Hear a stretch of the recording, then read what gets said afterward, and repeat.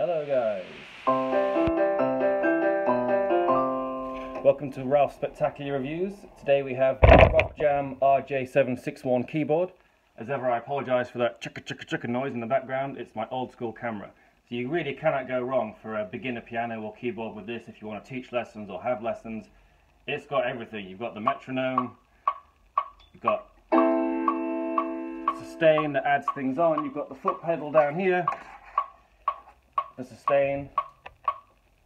You've got hundreds and hundreds of different rhythms as well as tones. You've got piano, color percussion, organ, guitar, bass, string, ensemble, etc, etc, etc. Every beat you can want. Recording facilities, about 100 quid. Excellent guys, really can't recommend this highly enough for a keyboard. Just get it. Amazon links below. Bye bye. Peace.